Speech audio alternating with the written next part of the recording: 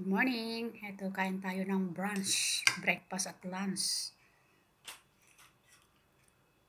Guess what is this? And this one too. With sausawan.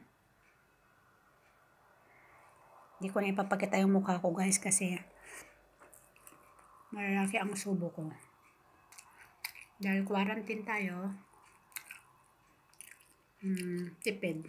Pagsamahin ng almusal at pananghalian.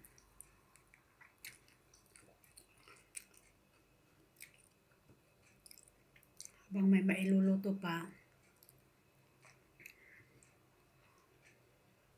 Ganyan. Look at that's very yummy adobo.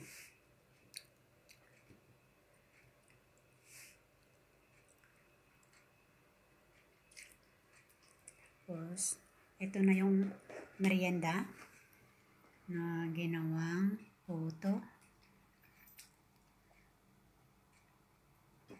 Sa mga kapwa kong nandito sa Russia, baka gusto nyong mag-order, padala lang kayo ng taxi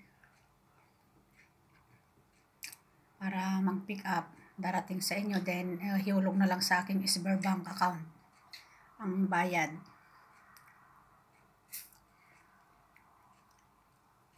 yan free to order then kahit anong menu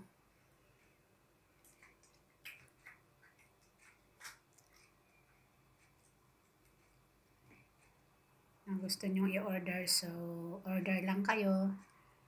At tatapangan ko ang lalabas, bibili para may maluto.